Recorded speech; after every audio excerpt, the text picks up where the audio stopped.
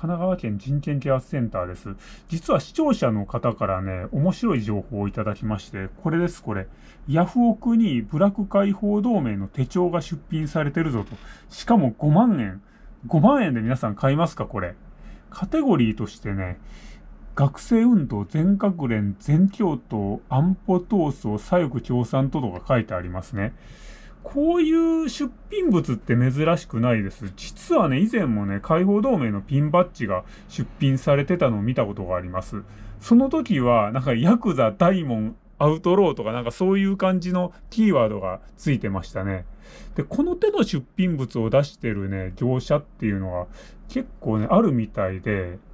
なんかヤクザの大門とかね、あの、あれですよ、あのネクタイピンとか、ピンバッジとかね、あとはヤクザの名刺です。そういうのを出してて、で、そういうのは結構な値段で売れてるんですよね。だから、そういうのをね、買うマニアの人もいるんでしょうね。だからこれも、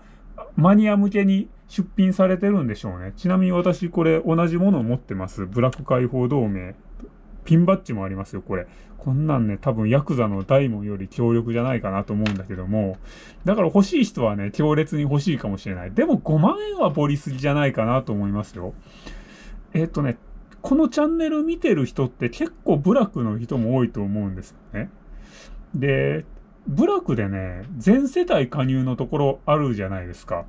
で、多分それで昭和50年代頃にはもうすでにね、解放同盟が活発に活用、活動してたようなところだと、これね、あるんじゃないかと、結構。持ってる人いるんじゃないかと。そういう部落ではね、結構な数がこれがね、保有されてると思うんですね。だから、例えばね、そういう人は親とかに聞いてみたら持ってるかもしれないですよ。で、これね、ぜひね、売ってみたらいいと思います。5万円っていう風な値段を業者がついてるっていうことは、それぐらいの値段で売れると踏んでるんでしょだから皆さんもね、そのぐらいの値段で出してみたら、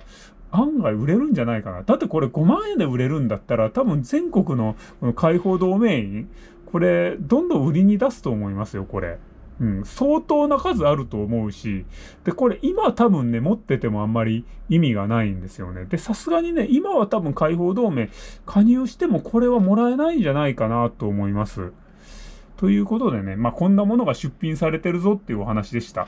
え皆さんね、ぜひね、これ出してほしいんですよね。全国のこのブラック解放同盟員の方、うん、これ持ってたらぜひ出してほしいと思うんですよね。あのね、結構ね、これ見てね、視聴者の方もね、買いたいなっていう人結構いたんでね、でも5万円は高いなってことなんで、まあ、1万円とかね、2万円とかね、まあ、5000円とかだったら確実に買い手がつくんじゃないですか？まあ、それでもね、ちょっとしたお小遣いにはなると思うんで、ぜひね、全国の解放同盟員の方、このお持ちのこの解放同盟の手帳とかね、バッジとかね、ぜひね、出品してみたらいいと思います。ほんとね、しょうもないものでもね、結構な値段で売れたりするんでね、旗とかも面白いかもしれないですね。なんかこう、景観機の入ってるものとかね、そういうのぜひね、ヤフーオークションとかメルカリで売ってみたらいいんじゃないかなと思います。ということで今日はね、こういうお話でした。